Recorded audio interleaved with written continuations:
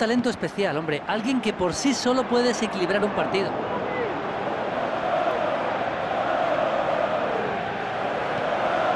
Un balón en largo, pero